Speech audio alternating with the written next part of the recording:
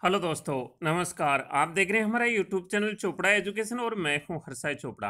दोस्तों, नींद बहुत आती है, पढ़ाई में मन नहीं लगता है, नीट 2020 का एग्ज़ाम कब होगा, ये सोच सोच कर पढ़ नहीं पाते हैं और ये सोच रहे हैं कि इस साल मेरे को एडमिशन लेना ही लेना है, चाहे कुछ भी हो जाए, मगर लूँ कैसे? मैं तो ढंग से पढ़ ही नहीं पाता हूँ। देश में चल रहे मौजूदा हालात के चलते काफ़ी सारे स्टूडेंट की ये समस्या है। अगर आपके साथ भी ऐसा हो रहा है तो इस वीडियो को ज़रूर देखिए। चैनल को सब्सक्राइब करके बेल आइकॉन अवश्य प्रेस करें।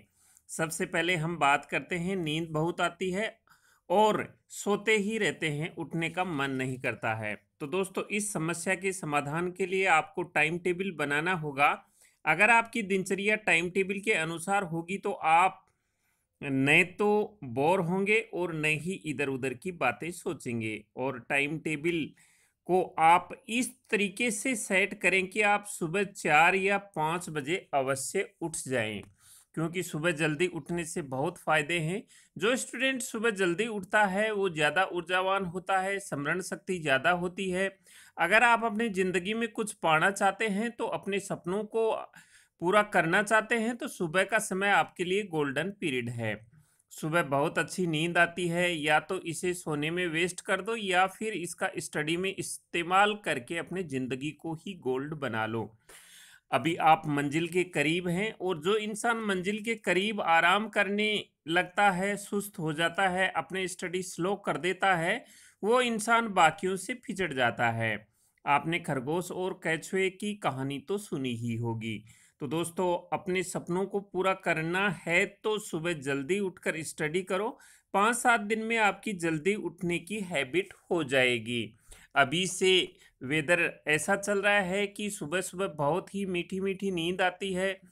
आ, रात को सोचकर सोते हैं कि सुबह चार बजे उठ जाऊँगा। मोबाइल में अलार्म भी लगा लेते हैं मगर चार बजे जब अलार्म बजता है तो उस मीठी मीठी नींद में आप अलार्म को कब बंद कर देते हैं, पता ही नहीं चलता है और फिर सोते ही रहते हैं।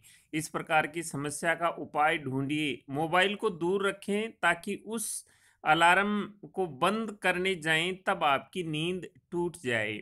मन में टाइम टेबल को याद कीजिए और अगर ये याद करो कि मैंने अभी पढ़ना शुरू नहीं किया तो मेरा चैप्टर छूट जाएगा। मेरा ये वादा है कि अगर पाँच या सात दिन तक आप ऐसे करोगे तो उसके बाद आपको आगे अलार्म भरने की आवश्यकता ही नहीं पड़ेगी। आप की नींद डेली चार बजे खुल जाएगी, उसके बाद आपको नींद ही नहीं आएगी। हमारा शरीर एक मिट्टी के घड़े की तरह है, हम इसको जैसा ढालना चाहे वैसे ढल जाता है। तो आपको एक तो जल्दी उठना है, दूसरा टाइम टेबल के अकॉर्डिंग स्टडी करना है। अभी इन दिनों जो स्टूडेंट के साथ में दूसरी प्रॉब्लम आ रही है, वो ये है कि नीट की एग्ज़ाम डेट फिक्स नहीं है। इसके कारण स्टडी नहीं हो पाती है। तो आप इसके लिए एक टारगेट सेट कर लें कि एग्ज़ाम चाहे कभी भी हो, तीस जून तक मेरे को एग्ज़ाम के लिए रेडी हो जाना है। क्योंकि एग्ज़ाम इससे पहले तो हो नहीं सकती। अगर बाद में होती है तो आपको स्टडी के लिए और भी टाइम मिल जाएगा। तो आप ये मानकर स्टडी करो कि 30 जून तक मेरे को एग्ज़ाम के लिए रेडी रहना है। इसके बाद जो नेक्स्ट स्टडी में प्रॉब्लम आती है, वो सबसे बड़ी प्रॉब्लम ये है कि हम इस टेंशन में रहते हैं कि इस बार मेरा एडमिशन होगा या नहीं होगा। अगर एडमिशन नहीं होगा तो क्या होगा? तो दोस्तों, आपका काम है स्टडी करना। रिज़ल्ट की चिंता आप छोड़ दो। और अगर आप मेहनत करोगे तो उसका रिज़ल्ट अच्छा ही रहेगा। आज तक हर इंसान को टेंशन से नुकसान ही हुआ है, फ़ायदा कोई नहीं हुआ है। आपको अच्छा अवसर मिला है और अच्छा मौका मिला है अभी स्टडी करने का तो इसको बिल्कुल भी वेस्ट न करते हुए स्टडी करो, आप अवश्य ही सफल होंगे। तो दोस्तों, वीडियो के अंत में मेरा यही कहना है कि सुबह जल्दी उठकर स्टडी करो, टाइम टेबल के अनुसार टेंशन फ्री होकर स्टडी करो।